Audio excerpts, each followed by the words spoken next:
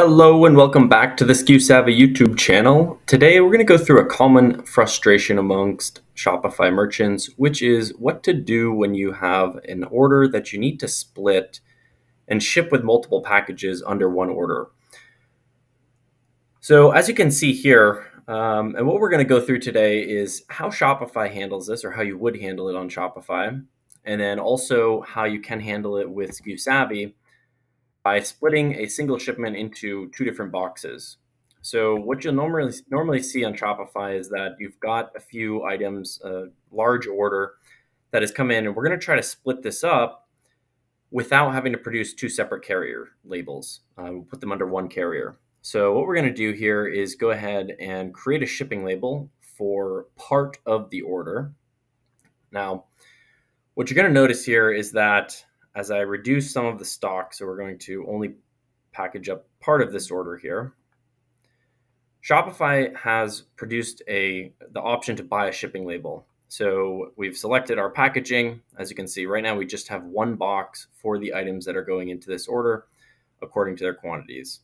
So we've got our one box and then we have the rates that are coming in based around that single box shipment.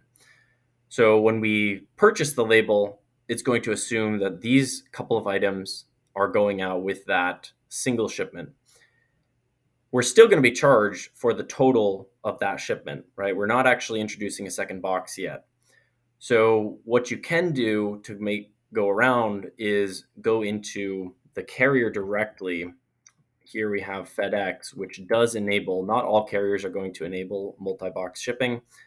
But as you can see, we can enter in the information of our customer here, we can go down and select the number of packages, whether or not those are identical. And then we can enter in the quantity uh, of what weight, dimensional weight the box is. So that is one way around this. Now, just to reiterate on how that might look within Shopify, as we start fulfilling items, we could go ahead and fulfill part of the order within one box. And we could enter the tracking information that we just produced from our FedEx multi-box package here. So just to reiterate, you would partially select the order, some of the items that you're going to put into box one. You would manually enter the order into FedEx enter the number of packages or boxes within one order that we're going to use. And then we're just going to fulfill these items according to those boxes. And then we're going to enter the tracking number into this information on the order, which is going to update your customer. So in that case, we're actually doing this separate outside of Shopify, but accomplishing the same result. And this would this tracking information will be related to the order.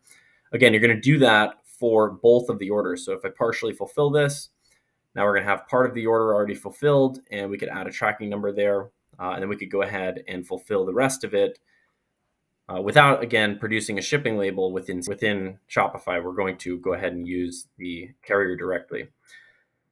Now let's go through an easier method to do that using SKUSavvy. So which, as you can see here, we've got multiple boxes. So we're going to go back into a new order example here that we're going to split this into one single shipment with multiple boxes. So I'm going to go ahead and fulfill the order and we'll fast forward as I pick through this. And once we've picked through, we're on the order fulfillment screen. So at this stage, we can see that all of the items for this order need to be packed. We've already picked them. And at this stage, we could go ahead and split the shipment into two different boxes. This is letting us know that only certain carriers are going to support this. As you can see, all of the items are available to add to each of the individual boxes. So as I start to add these items, they'll check off from the secondary package where we could then load the remaining items into a secondary box. At this stage, we're going to select which box types we're using. And SKU is going to go ahead and pull the rates across our available carriers so that we can ship this out with just a single label having two different boxes within there. Hopefully that makes a very convenient way to split your shipments into multi-box and cut down on your shipping costs. If you haven't already, make sure to try out SKUSavvy. It's free for 50 orders a month. It's a full warehouse management system designed to organize your warehouse and pick, pack, ship faster. We'll see you on the next episode. Be sure to subscribe. We certainly appreciate your support. Have a good one.